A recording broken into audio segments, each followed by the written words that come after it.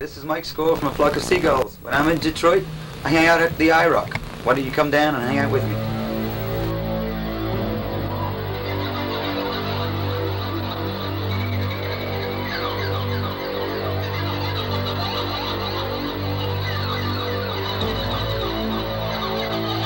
This one's from 1982